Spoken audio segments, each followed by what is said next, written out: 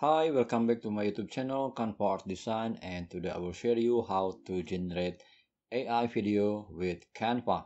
So I use a YouTube thumbnail size here and then let's go to apps and just type magic here and choose magic media and choose this icon magic media and then go to videos and then type your prompt like one shot of pink lotus on the water natural light. And then click generate video. It will take uh, one or two minutes. I will speed it up. Now let's click it. And it will move to our page. And then let's play it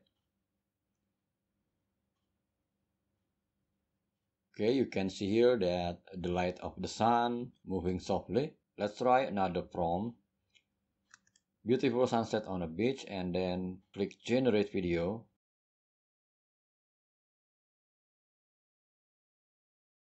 I will add a new page and then click it and it will be moved to the new page and then let's play it.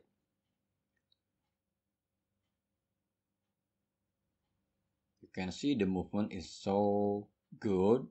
Okay so this is the tutorial ai video generator in canva. See you next video and have fun with canva